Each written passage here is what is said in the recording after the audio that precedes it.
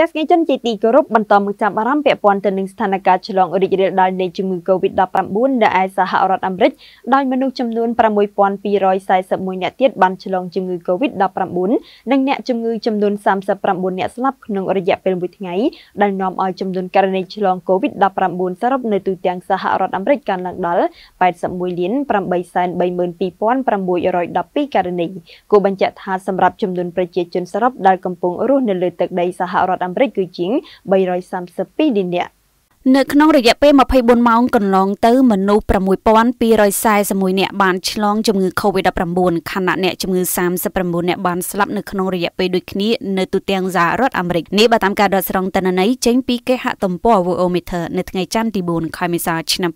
2022ក្រោយការបុកសរុបទិន្នន័យបន្ថែមខាងលើនាំឲ្យចំនួនករណីឆ្លង Covid-19 សរុបនៅទូទាំងសហរដ្ឋអាមេរិកបានកើនឡើងដល់81លាន832,512ករណីក្នុងនោះមានអ្នកស្លាប់សរុបចំនួន1លាន8198នាក់និងជាសះស្បើយឡើងវិញសរុប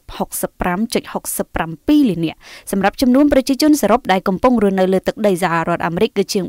332លាននាក់គាត់បញ្ជាក់ថាមកទល់ពេលនេះសហរដ្ឋអាមេរិកបានចាក់វ៉ាក់សាំងបង្ការជំងឺ Covid-19 សរុបចំនួនជាង561លានដូសក្នុងនោះប្រជាជន255.53លាននាក់បានទទួលការចាក់យ៉ាងហោចណាស់មួយដូស217.63លាននាក់បានទទួលការចាក់គ្រប់ដូសនិង90 7.67លាននាក់បានទទួលការចាក់ដូសជំរុញកម្មវិធីនេះឧបត្ថម្ភដោយបូរី Golden Park បូរី Golden Park គម្រោង The Natural ស្រស់ស្រឡះធម្មជាតិ